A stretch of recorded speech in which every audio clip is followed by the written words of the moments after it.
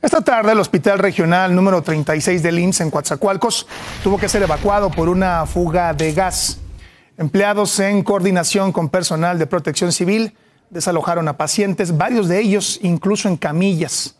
De acuerdo con los primeros reportes, la fuga ocurrió en el área de cocina de este nosocomio, aunque por fortuna no hay reporte de personas lesionadas.